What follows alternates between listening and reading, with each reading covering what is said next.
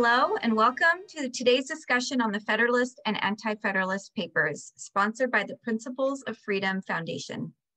The purpose of this foundation is to provide a platform for discussing the ideas pertaining to freedom, just as was done in the town squares, churches, taverns, and other areas during the founding era of this nation. Ideally, those who listen to or participate in this discussion will have come prepared by having read the materials to be discussed today. Participating in today's discussion are Julie Farnbach, Juliet Bellinger, Leah Hone, David Bishop, Derek Harris, and myself, Brooklyn McClure. We hope you'll continue to participate in the discussion of freedom even beyond this podcast by commenting on our Facebook group, YouTube channel, and most importantly, by conversing with your family and friends on these important topics of freedom.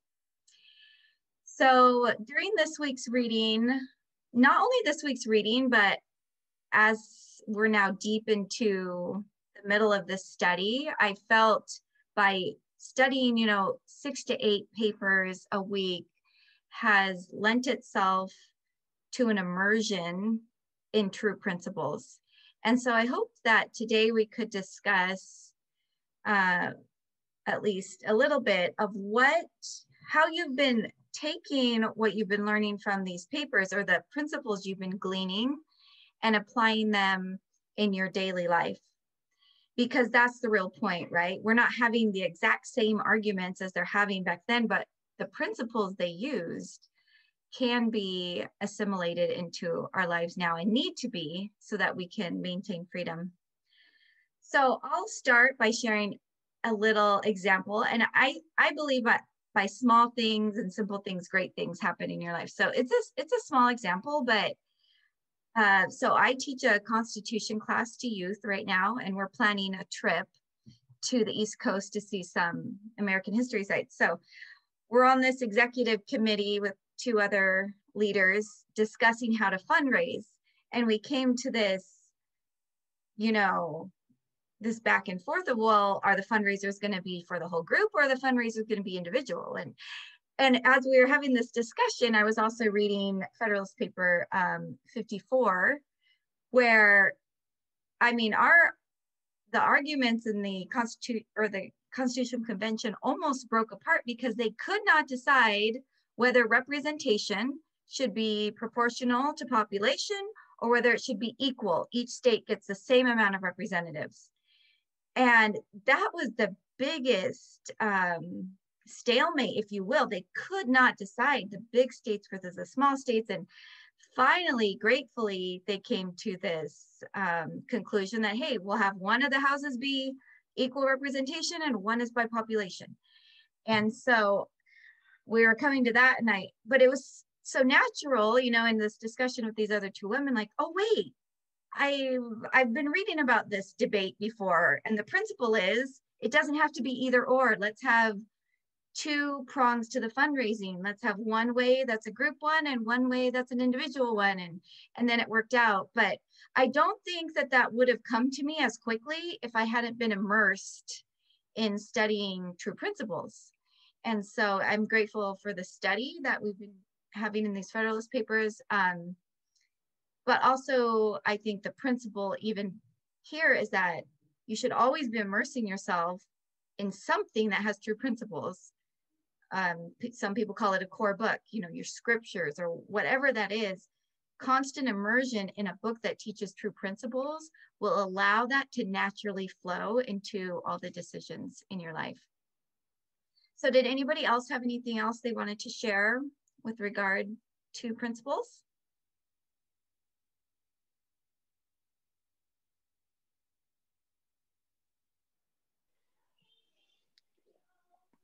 You know, I think you know you talked about their the founding fathers were not only so for me they're not only um, discussing true principles, but they're opening themselves up to receive more true principles. In fact, no decisions would have been made if there were not some opening up and allowing for inspiration for God to teach us. And that's what I'm finding individually as I, I as I've continued to focus on what is my personal um, freedom. Where are my barriers of where I need more truth. And I'm finding that Christ's injunction to, to have a broken heart and a contrite spirit are actually the leading characteristics to receive truth. Um, we don't create truth, but we can receive it. And I believe you, we receive it from on high. And I find that those who truly love it can receive it. Um, and so I've even, I just yesterday, I guess an example was um, I've been frustrated with one of my daughters because I'm trying to, I'm home um, schooling her and she's a bit older and um, often is distracted and not, you know, planning out her time and doing it. And I was then trying to to direct and maybe control her a bit. And so as I set some time down to truly listen and to understand, and and and that's something you can feel if someone's just asking the question or if they're really trying to receive and and really be open. And I and um, she was able to identify some things about what's blocking her and what she wants but I, I felt like just creating that open humility then i learned more not only about her but about myself and and what i what i can do and so i think these are types of things even on a daily basis in a small way where i'm finding that that kind of a a broken or an openness to to truth because we all can shout and say i have truth but I think until you say, I need more truth and desire that above all, that you can really receive more. So.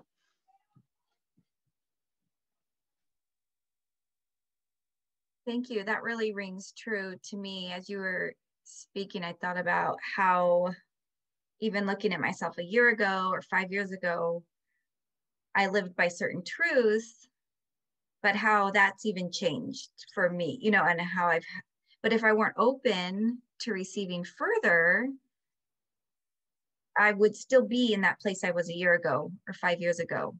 And how it's important to even have forgiveness for yourself. You know, I had someone approach me recently and just beating themselves up for what they've done in the past and really having a hard time forgiving themselves. And, you know, I was open, I forgive you openly, but um, but we need to forgive ourselves and then forgive others that's one thing i see in our in our social discourse and in our political discourse very little to no forgiveness it's like if you've made one mistake and it was 40 years ago and you said one word wrong or it's interpreted wrong you are crucified and you're you know and that's not a true principle that's of of freedom true principle of freedom is, you know, this self-forgiveness, but also being having mercy and grace and forgiveness of others. So thank you for sharing that. Did anyone else have any other thoughts they wanted to share on, on principles?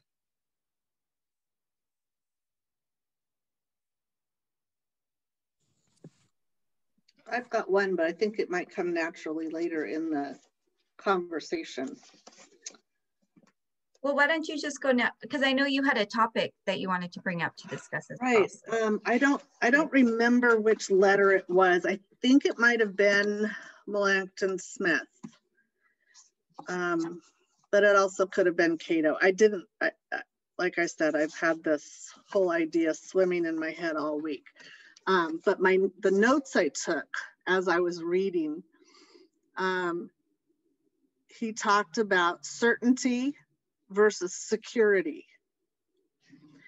And as I played with those words, I realized that if we're going to have liberty, we have that automatically comes with that is uncertainty. And so that kind of reframed the whole discussion for me because I thought back to Benjamin Franklin, or what is attributed to usually Benjamin Franklin's statement that um, he, if we seek security and liberty, we deserve neither and will get neither. So that's a, gr a gross paraphrasing of it, but I know you've all uh, heard that. We, we do have a choice between security and freedom. We cannot have, you know, even a total police state doesn't protect us, our physical safety. And of course, it, it completely tramples over our personal liberty.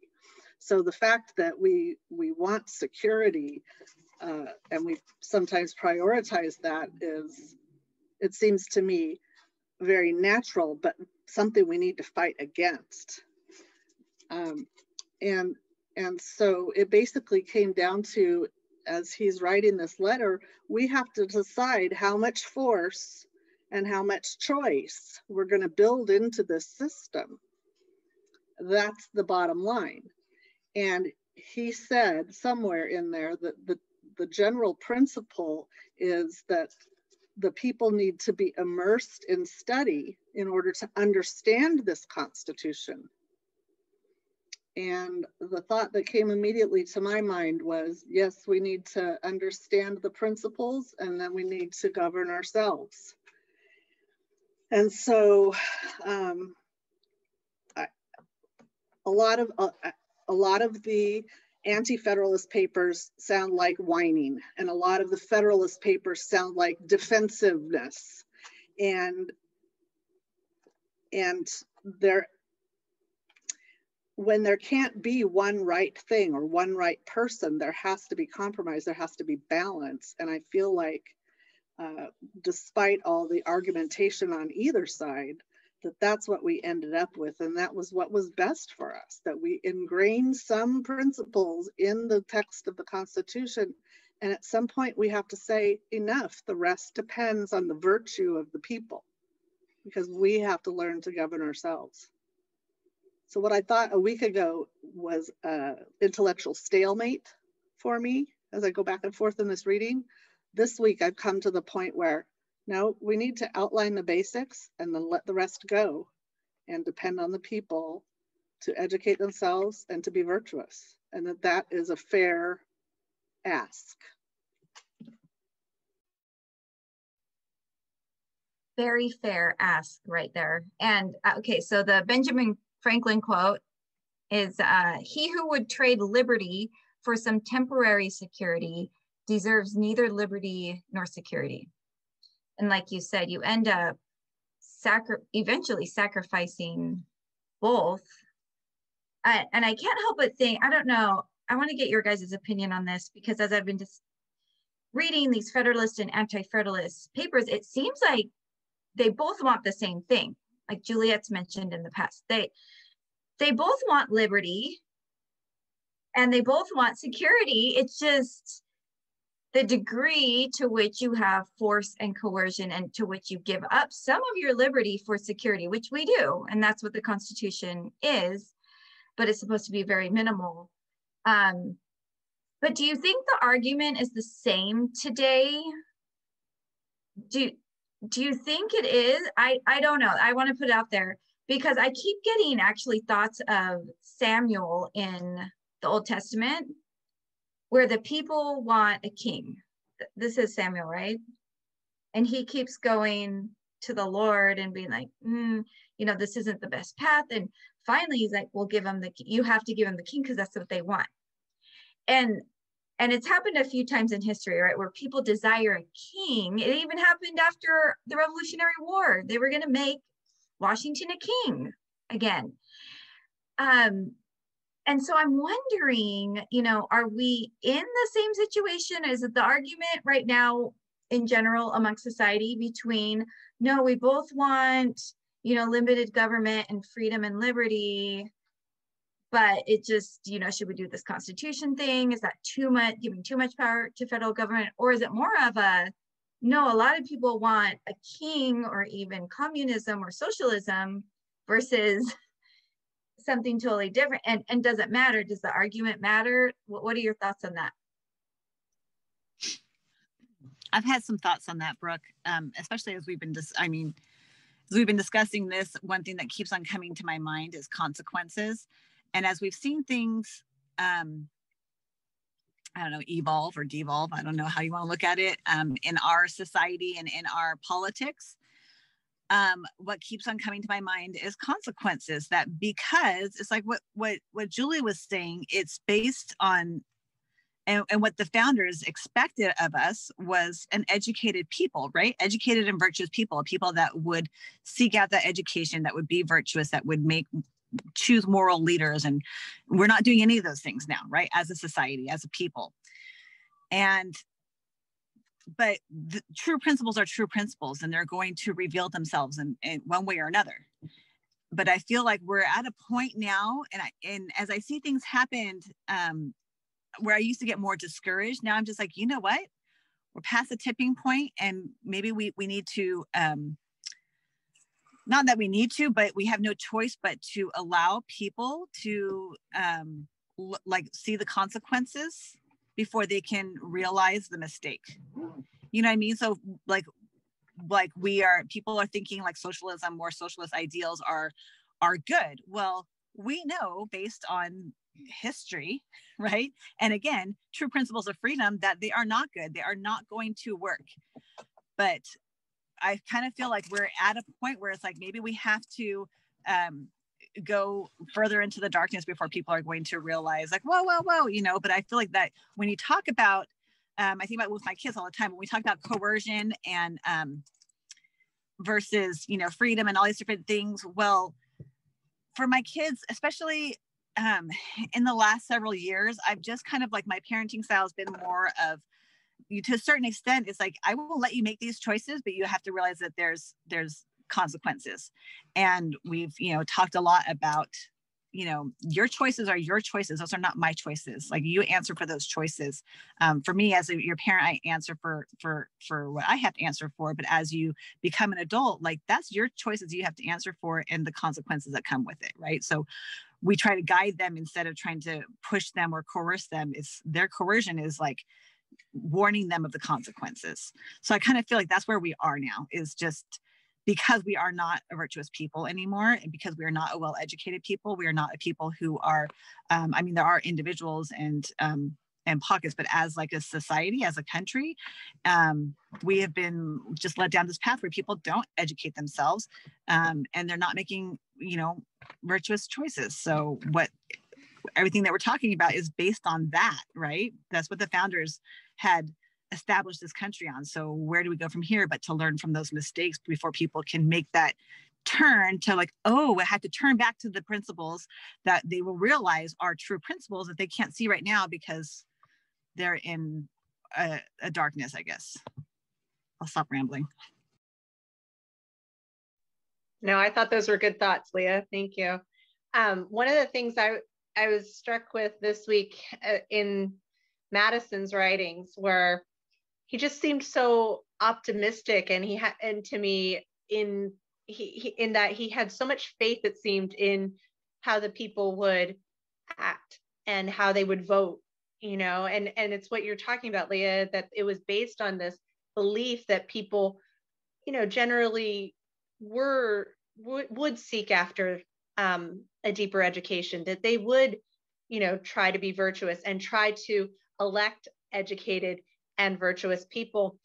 And you know i kept i kept looking reading him and going gosh he really he really didn't foresee what was going to happen. He really you know where he was so you know um had such good foresight in so many ways this was an area where he really didn't see it. And then i was like oh but maybe i'm just being too pessimistic and and not giving extending enough grace to people and then it struck me um, that I think one of the big issues is the definition we have today of educated and the definition that we have today as a society, and I'm saying as a society, not necessarily in this group, um, of virtuous has fundamentally shifted. It no longer is they're not in they're not in the same ballpark in them anymore. And it's funny because I've been listening to that um, America's Founding Fathers series from the great courses, and it's interesting to listen to the the little not little some some are little and some are not so little vices of of these founding you know gentlemen and and um you know there it, it's nothing new. It's the same kind of things we experience today in politics. Um but again, going back to what you said, Brooke, you know, there's there's still there's still um, we don't need to crucify people for their mistakes, you know, little, especially these smaller ones or personal ones. Um, but there's such a fundamental shift between what we define as educated and, and virtuous today. And I think until, I think it's difficult now to even say those words and, and get people to have a, a common definition, if that makes sense. So when you say educated, you know, I was sp- speaking with a friend today and we were talking about how so frequently it, it's a reliance on experts whatever that means, you know, to somebody. And it often um, has to do with some sort of, you know, ed, you know, schooling, schooling or certification or whatever, um, but not, but not necessarily always, you know, a deep education on a topic. And then with the virtue, there's just such a, a broad a broad definition out there of what what virtuous is and i think also a almost a demonization of certain um, you know certain people or groups that put value on certain virtues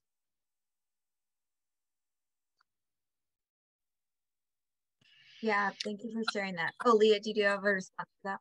Yeah i will i was just thinking you know um um kind of to add to like what what juliet was saying it just made me think you know despite what i was like saying about like you know people um, like how we're not as a society you know virtuous or seeking that education i i think about like coming back to true principles right? That um and we we were discussing you know today in our in our um constitution class with the kids about um our guest speaker was talking about you know um what is true law you know and god's law and how it's important because that is unchanging right so these true principles um it, what I've and Brooke, we were just talking about this earlier, and what I keep on seeing is that they are coming to light. So even though it seems discouraging because we are not this as a people, you see as things get so bad that people are starting to see like the consequences and that people are starting to have this desire. I've seen this desire in people to seek out that education. They're starting to realize, wait a second, I don't know. I don't know these true principles of freedom. I don't like they they kind of know that there's they have a sense of it and they know that that's generally what we were supposed to you know what america is supposed to be about and but they they aren't familiar with the constitution they're not familiar with the principles of freedom they just maybe intuitively know that they're there and they know that something's wrong and now they have that desire is coming around. So again that that true principle that like no matter how bad things get i feel like because it is god's law like you can't escape it. So people you know as god's children i feel like are um, having that that um, desire in their hearts and um, that realization of their lack of a no- personal knowledge however you want to describe education right juliet like people have all kinds of different you know um, views of education. Obviously like in um, our homeschooling um, philosophies that that most of us follow we believe you know in self-education. You know education doesn't come from from the outside but from from our own studies and um, from within. So our own efforts. So um, i see i see that change in people. So it gives me so much hope that sometimes when we think that like like how could you know i wonder about like james madison like how and so many of the founders like that their expectations like how could they not see you know where people were going to go to but maybe they did see further than we do because we're in a, in a darker place right now but i see this light coming out you know where people are themselves starting to see that they need to find those that truth that's missing in in in not in their lives like religiously, but um, those true principles of freedom.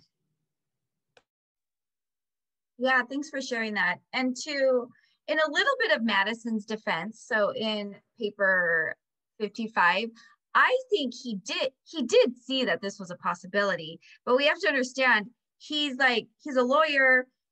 These Federalist papers and these newspapers are like his courtroom floor where he has to prove the point to get this passed. So of course he's not going to bring up too much of the possibility of what's happening right now, but I think he knows it um, when he says, I am unable to conceive that the people of America in their present temper or under any circumstance which can speedily happen will choose and every second year repeat the choice of 65 or 100 men who would be disposed to form and pursue a scheme of tyranny or treachery. you know, and speaking of the the House of Representatives, he's like, Americans right now in their current temper and and it couldn't happen very quickly like in the next few years that they wouldn't just flush out any representatives who had tyranny or treachery or you know in them. Now we see that that has slid and we are into a place now where people are senators or or representatives for most of their lives and that's not what was intended but i i do think that he knew that was possible.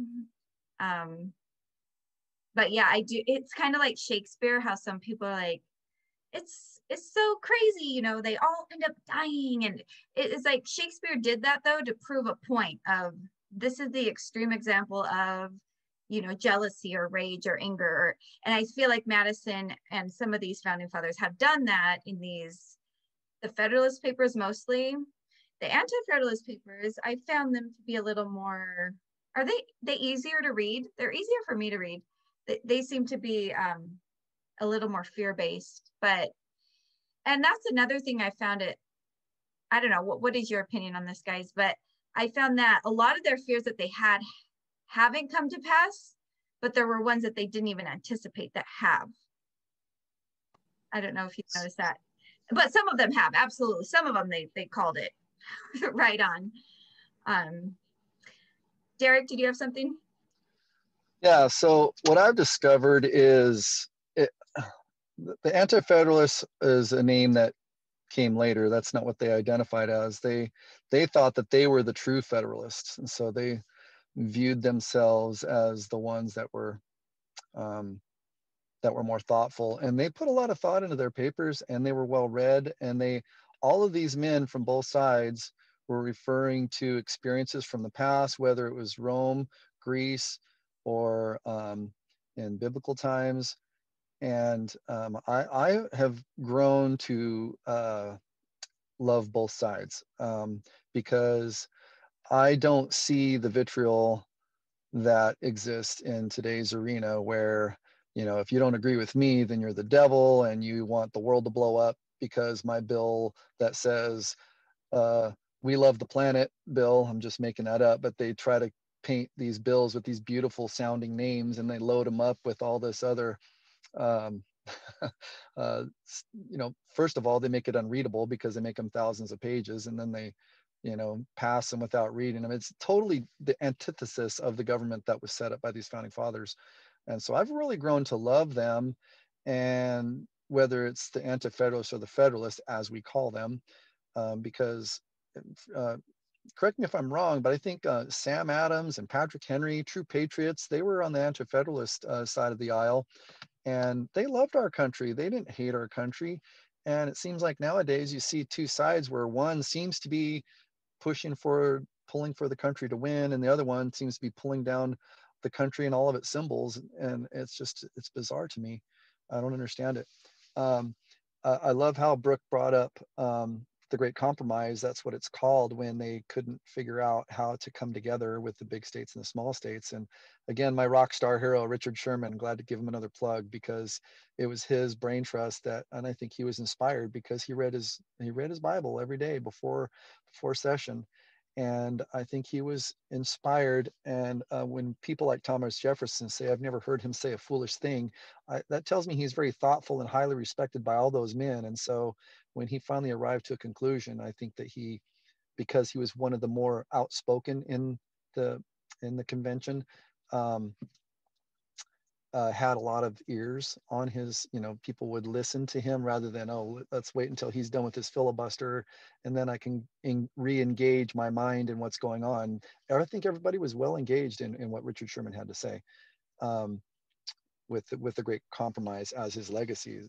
is, great. But I wanted to talk a little bit about, um, if that's okay, the, the constraints that the anti-federalist papers talk about. They think it was too, um, it was too blurry. It was too, it wasn't well defined. And um, the example that I think of with the executive is um, there was no term limits. And so as the Constitution was written, and then as George Washington uh, saw to saw to it that the Bill of Rights, the first 10 amendments were added to the Constitution, there was still nothing um, enumerated in um, the limit of the President of the United States. But George Washington, after running for two terms, said, I'm going back to my farm, and that's that. And Thomas Jefferson himself uh, encouraged him to run for a third term.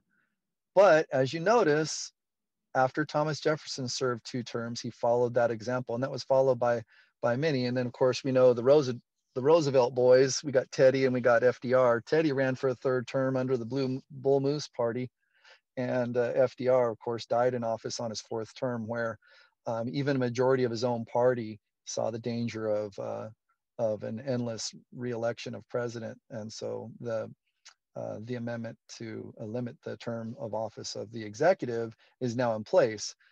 Okay, there's one amendment that's good. Now we need, to, uh, don't don't you think we need to implement that with Congress, with with the legislature, with the legislative branch, with the Senate, and with the, uh, I, just think that there's so much more we can do, and and and I know I think Julie is a proponent of, of getting rid of the 17th Amendment. I am, I am too. I'm on board with that um, because we need to get closer to the voice of the people. If one person could run for office and represent one person, we would have freedom because that one person that voted for that one person that's represented them would say, I like your ideas, I'm going to reelect you. If I don't like, like your ideas, I'm the one person that could kick you out of office. So you better be listening to me. That's how important it is to be as close to the people when you're an elected um, uh, administrator. And um, when you get to these big, huge, vast numbers of people that that elect um, representative for them, they're not as accountable to the people. That's why the lowest form of government that can solve a problem should, and that needs to needs to be the be the focus. I know I've said a lot. What do you guys think? I just want to add really quick because I w- recently was rereading 55 mm-hmm. Fathers for for our class, and um, you know Roger Sherman. He it's interesting because he actually did not trust the people. He didn't trust the people to make the important decisions of um, of of like you know voting in um, um, voting in our legislature and all that kind of stuff. Like he he had a lot of issues with with with putting trust in the people. And I, in reading about it, I'm like, why? Like, it seemed wrong. And now, in our situation now, I think he was right. But, anyways, I just thought that was like interesting because I was reading about that about him recently. I, am kind of curious what you think about that since I know you're a, a big fan of his. Well, I was going to say, yeah, talking about, I mean, putting it's okay to be close to the people, but there's a reason we have a republic and that it's not a democracy because that's actually really dangerous to have this mob rule mentality where you could have 51% of the people overthrowing you know the other 49% um, but what i also thought about with regard to the amendments as madison stated earlier that, that we just quoted there was this expectation that people are moral, virtuous, and will govern themselves. And if they will do that, then there is no need for additional laws and constraints. And it actually worked pretty well for, you know, 100 years or so, um, even amidst the normal human nature um, frailties.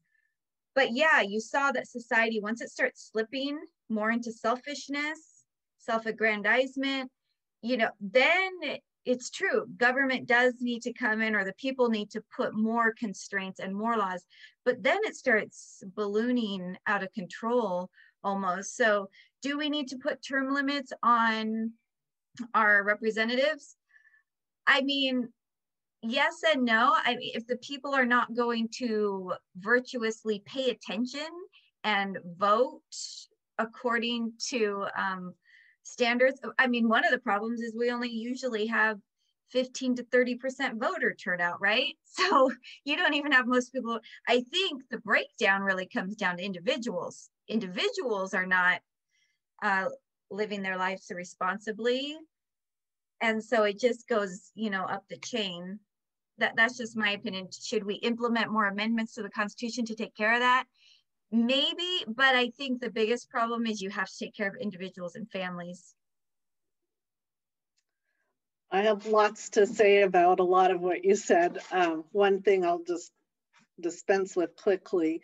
Um, I've always been against term limits on principle because I think it takes the responsibility away from the voters to pay attention and to suffer the consequences of their votes.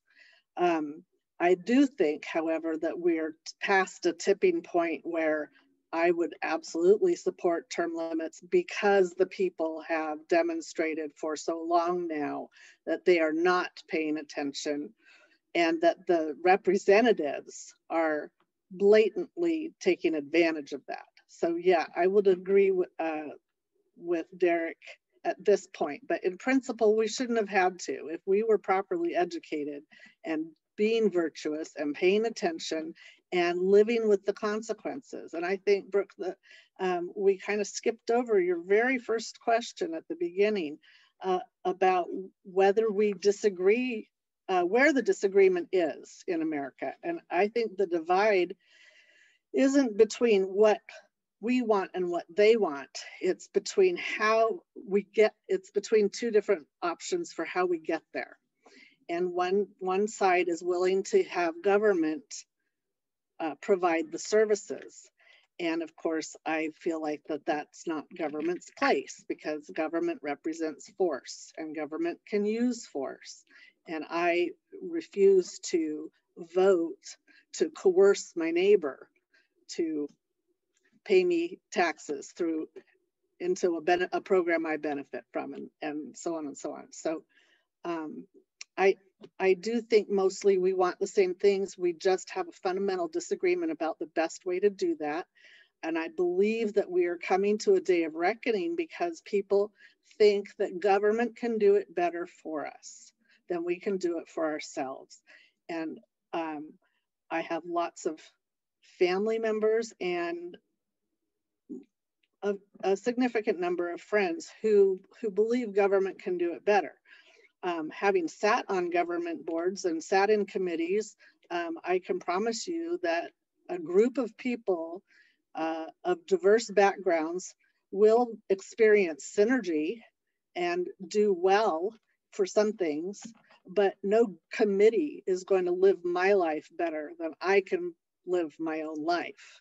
And no committee can I appropriately delegate my natural rights to to impose their will on anybody else. Government is force, taxation is theft. Those libertarian ideals seem really off putting uh, just on the face of it. But when you look deeply at the methods by which we pretend to have a right to control each other, um, it all falls apart because my rights end where your rights begin. And I have no right to determine how you live your life, no right to absolve you of the consequences of your choices or to pass on the consequences of my choices to you. And that requires some deep analysis and some personal humility and a good education to understand all of that is fundamental to the division we see in my humble opinion. I agree, Julie. I think apathy is taken over. Um, we've all talked about education, but how many people are having this kind of type of conversation? How many people are are um, are are heading a, a, a, book club like Juliet's doing, and um, how many people are, you know, going over vocabulary and and oh here's a here's you know here's a new word and and trying to elevate their discussion instead you know the four letter words that we hear all over the place are used as substitutes for thousands of words that could be used in their place.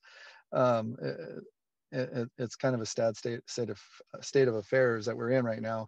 Um, and it seems like as i work through what's going on politically i try to break it down to is this policy this law this rule um, whatever you want to call it that's that's moving forward um, to be legislated is it going to force me to do something against my will or is it going to encourage me to exercise my my free conscience?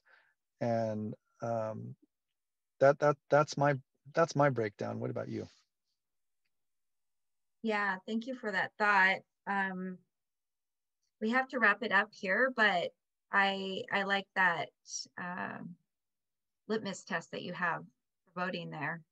You know, how much does it coerce or how much does it give you freedom to choose? And I I wanted to end on this note. Um, Douglas Gibbs came and spoke to our our government class today, and he had shared this something about the Pledge of Allegiance that I'd never known.